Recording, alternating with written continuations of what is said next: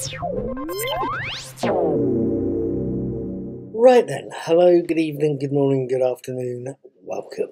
My name is Paul, I'm also called Nik Nak. I'm the brains, God help me, behind Nik Nak's Daily Teaser, and I'm somebody who talks about TV shows I've seen, and occasionally about the odd movie I've watched.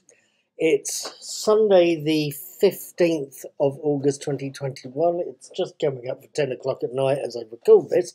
And last night I watched the latest Marvel Universe release that is Black Widow. I wanted to possibly do a review, possibly tell you about it, or possibly just gob off about what I saw last night. Let me make one small minor point here. Um, there's an old Orwell novel, 1984, that uses a form of English called Newspeak, and it introduces the word ungood as the opposite to good. It sort of means, kind of means bad, but it's a, little more precise. That's a word that was floating through my head. I also do a five star rating system for movies that goes zero, right at the bottom, all the way to four at the top. Zero, one, two, three, four. I'll leave you to watch the to the end of this video to find out what I've given Black Widow. Black Widow opens in Ohio in 1985, showing us a young Natasha Romanoff, the Black Widow, played in this case at this stage of the event by Ever Anderson, cycling home to what we assume is a small town family home somewhere in Ohio. Her family are actually a, sleep, a Russian sleeper cell composed of the father, Alexei, Red Guardian, uh, played by David Harbour, the mother, Melina, another Black Widow, played by Rachel Weisz, and a younger sister, young Yelena, played by Violet McGraw, in this opening scene. Unfortunately, the cell finds out they have to flee to Cuba with the help of General Dreykov, played by Ray Winstone, after Alexei's theft of sensitive information from and torching of a nearby SHIELD base.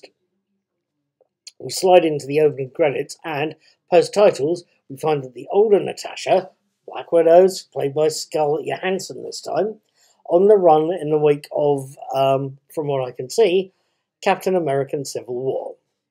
Whilst in another unnamed part of the world, Yelena, this time the older version of the character played by Florence Pugh, is fighting against a group of black cat agents and ultimately fleeing with several vials of a volatile red liquid that can neutralize the mind control techniques used by Russia's Red Room program, its Black Widow training program.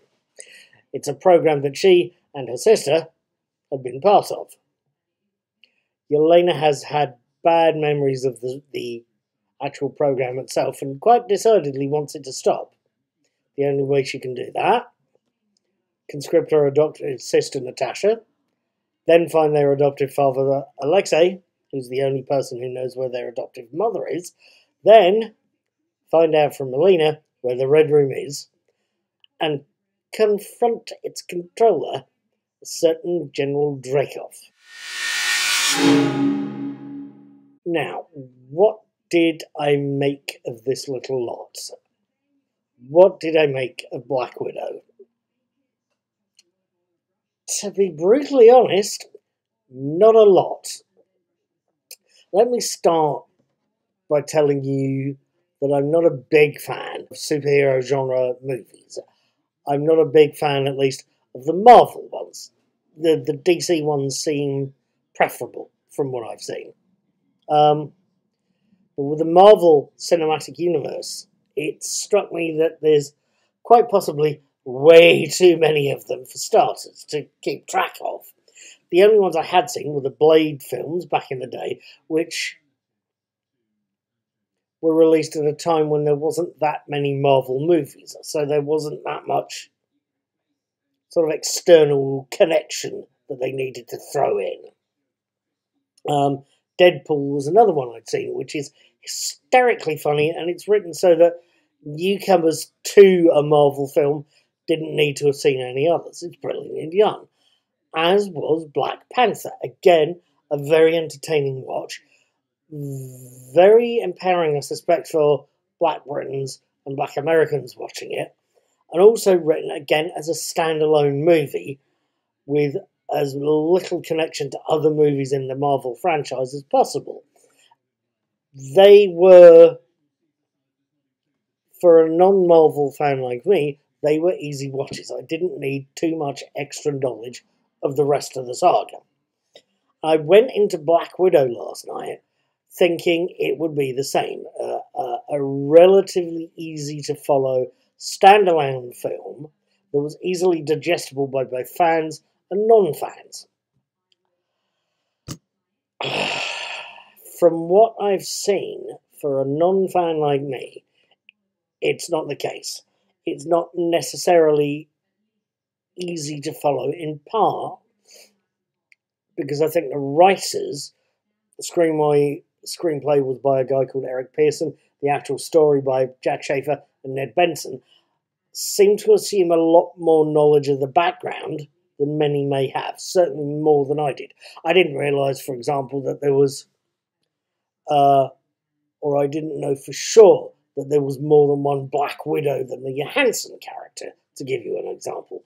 Another issue for me, um, towards the end of the movie, Melina is at the control panels of the uh, the airborne red room. It's a strategic part of it that controls that can land the thing the Red Room in this film, if you've seen Doctor Who, some of the David Tennant years of Doctor Who, is a huge, great airborne base like the Valiant in Doctor Who. Now, at this point in the movie, Melina gets locked in by sliding bulkheads, and as far as I could see, has absolutely no way of escaping. Yet we see her helping Natasha, Yelena, and Alexei a few minutes later, without being, from what I could see, shown how she escapes. That seems fairly typical of the film. There seems to be choppy bits of plotting that aren't tied off properly. Um, another aspect for me, Ray Winstone as the villain as Dreykov. He seemed slightly miscast. He's a very capable, competent actor capable of being very, very, very, very, very menacing. I saw him in 44 inch chest a few years ago, and he's a nasty piece of work in that. That he seemed very, very miscast and possibly not necessarily too stunning with a Russian accent. I'm sure he got a good dialect coach in for the part, so it's an okay accent, except of course having seen him in so many things before, I kept mentally hearing his underlying London accent. he wasn't bad in the role, he was okay in the role, he just wasn't necessarily at his best in the role. So to be coming out of all of that lot, and to be totally honest with you, I think that this is a list I could possibly add to were I to watch Black Widow again. As of right now, and I have to say this, Black Widow, its cast are good, generally okay, generally competent. The fight scenes are very well choreographed. The action scenes, the car chases, the gunfights are all nicely done. But from where I'm sitting, Black Widow is an okay film to have seen. An okay film to have seen. It is just not necessarily the best film I could have seen. I'll leave you with a thought that I've given it four, one stars out of a potential four. And I'll leave you to leave a few comments under this video. Let me know what you think of the film, and I'll catch you later.